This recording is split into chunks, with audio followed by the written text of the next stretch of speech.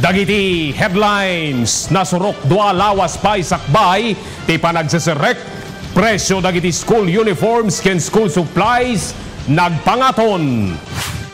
Bilang dagiti incoming grade 7 ti Ilocos National High School manamnamamet a lumobo. White corn amay laok iti bagas ikam kampanya ti Department of Agriculture. Iti Telechika am amuan dagiti talent scouts ti Siglat Ilocanja Season 2. Iti sports Miami Heat pinulpugan nati Indiana Pacers iti Game 5. Panagtudtudo iti amyanan Luzon agtuloy pay aginggat weekend.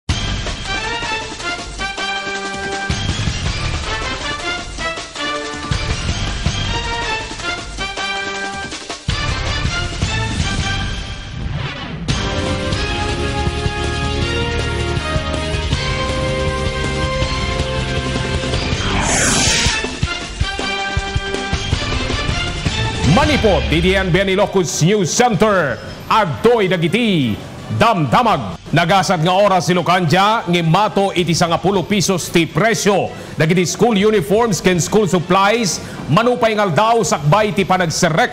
Nga madlaw dagiti aglaklako abasit ti apan gumatgatang, posible kunada nga epekto na ituyen ti riga tibiyag. Report ni Ryan Lazo.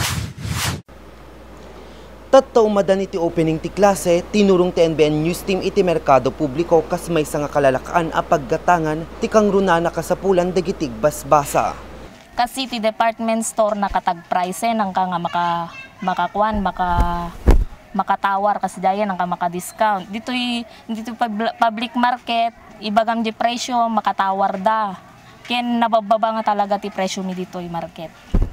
Segun ka dagitig laklakwad dangin matuan ti presyo dagito. Ah, tatangamin kay nagriga pa lang ti aglako. Tatta ko mga tsempon kay ado ko magumatangin ngem awam pa lang ti paglalakwan mi. Talaga nagriga ti glako tatta, nagriga ti biyag. Ti school uniform para ti elementary pupils, ladies blouse ken polo. Agbalor 80 to 120 pesos. Para matiti high school students, agbalor 120 to 150 pesos depende ti size. Iti price range met iti palda kit agbalor 100 pesos para iti elementary ingana 200 para iti high school students. Ti shorts para kadig tubing alalaki kit agbalor 80 to 150 pesos. Ken iti pants para iti high school kit agbalor 150 to 200 pesos. Iti white t-shirt kit agbalor 50 to 100 pesos.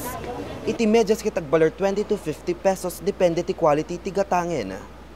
Iti black shoes met para kadigit elementary pupils a babae ket agbalor 180 to 200 pesos. Para met kadigit lalaki 300 to 350 pesos.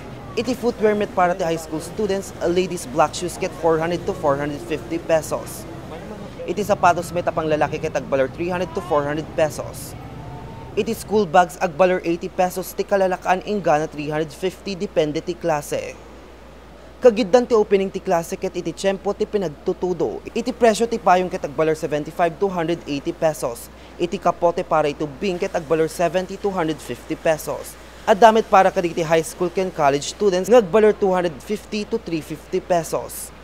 Kas kinanay nga rekomenda digiti eksperto agbalin tayo a wise buyer. Pilyan tayo tinapintas a kalidad, kensa nakasapulan nga gasto iti dakkel tap-tap no makagatang iti kasapulan. Sigun ka digiti glaklako mabalin pay atawaran digitoy no public market ti paggatangan. Agbalin tayo awais ken pilyan tayo ti swak iti budget. Para ti Telejaryo Ilocos, Ryan Lazo.